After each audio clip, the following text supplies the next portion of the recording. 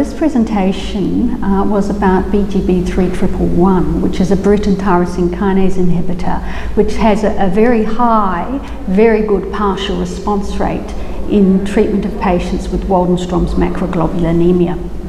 Now, BGB3111 is an oral, highly bioavailable and very specific, a very targeted Bruton tyrosine kinase inhibitor. And it doesn't have the same off-target uh, effects on the TEC and EGFR kinases. And so what we found in this study was not only did patients have a uh, very good response to their BGB 3111 with a reduction in IgM from uh, 33 grams to 6 grams per litre and a rise in hemoglobin from 100 to 140 grams per litre. They also tolerated the drug very well with none of the usual side effects that we see with Bruton tyrosine kinase inhibitors.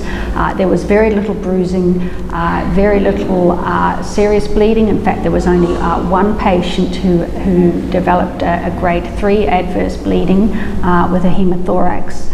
Uh, and there was, you know, very little in the way of cardiac arrhythmias. So this was an extremely well tolerated Bruton tyrosine kinase inhibitor, which had an overall response rate of 90%, with 43% of patients achieving a very good partial response.